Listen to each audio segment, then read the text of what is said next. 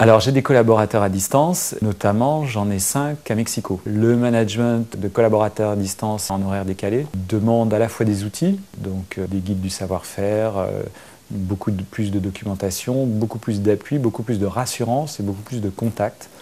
Et euh, donc les, animateurs de ce bureau mexicain chez nous doivent passer beaucoup de temps en webcam pour avoir un contact visuel et pas simplement un contact via mail.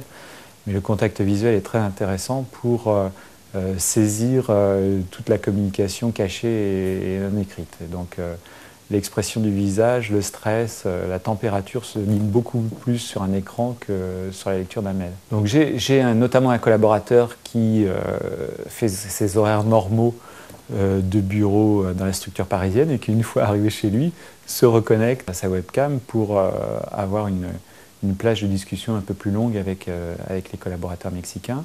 De même que j'ai périodiquement, euh, à peu près tous les trois mois, un échange euh, physique d'une personne dans un sens ou dans un autre. C'est-à-dire que tous les six mois à peu près, j'ai un collaborateur du bureau parisien qui se rend faire de la formation dans le bureau de Mexico et inversement, donc tous les six mois, j'ai également une personne du bureau mexicain qui vient se former à Paris. Le tout faisant qu'on on met ça en, décalage. Et donc tous les trois mois, il y, a un contact physique à peu près.